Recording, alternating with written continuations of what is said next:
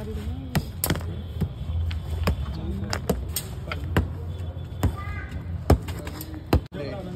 ਨਹੀਂ ਸੀ ਬਣਾਉਂਦਾ ਸੀ ਹੁਣ ਮੈਂ ਚੱਲਿਆ ਬਸ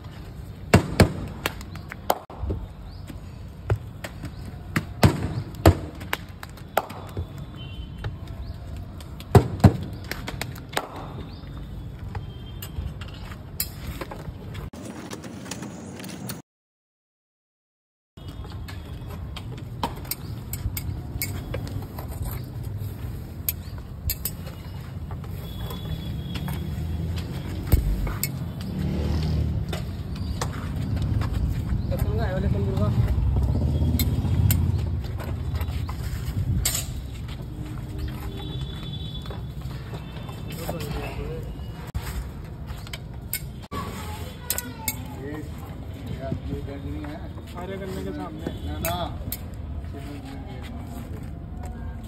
अगर आज भी हमारे पास रोटी बिल्कुल साफ़